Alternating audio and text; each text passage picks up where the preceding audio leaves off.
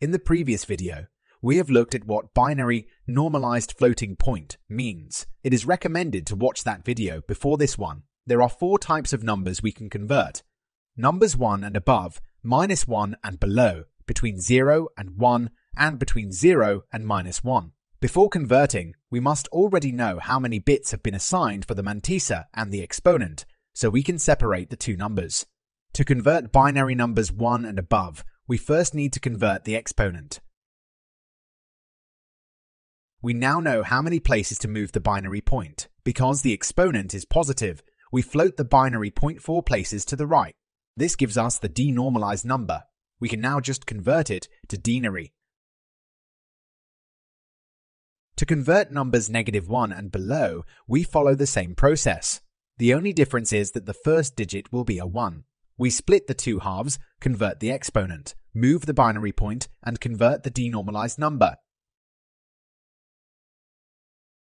To convert a number between 0 and 1, way 1 again start the same way by splitting the two halves and converting the exponent. At this point, we notice that the exponent is negative, meaning that we have to move the floating point to the left, decreasing the value of the denormalized number. And we can now convert to denary.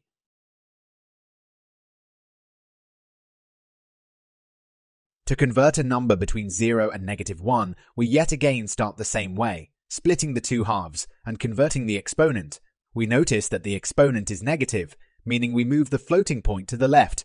However, the mantissa is also negative, and because of that, we add ones after the binary point instead of zeros. It is important to notice that we always use the leading bit to determine the digits we add after the binary point, as inserting zeros here will lead to getting the wrong denormalized number. Finally, we convert to denary.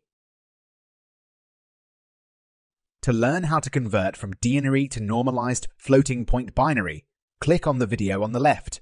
To experiment with conversion yourself or play conversion games, visit BitBinary by clicking on the link below.